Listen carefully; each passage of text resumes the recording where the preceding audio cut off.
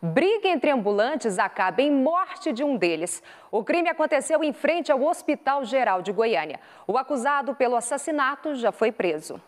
Segundo informações da Polícia Civil, os ambulantes se desentenderam aqui, na frente do Hospital Geral de Goiânia. Era por volta das 10h30 da manhã, quando, depois de uma longa discussão, João Alves de Jesus, de 52 anos, deu uma facada no peito de Rodrigo da Rocha, de 60. A vítima chegou a ser socorrida por funcionários do HGG, mas morreu a caminho do centro cirúrgico. O suspeito fugiu, mas foi capturado pela Polícia Militar a poucos metros daqui. Eles se conhecem, têm um desentendimento. Toda vez que eles se veem, eles acabam um xingando o outro, coisa banal, fútil.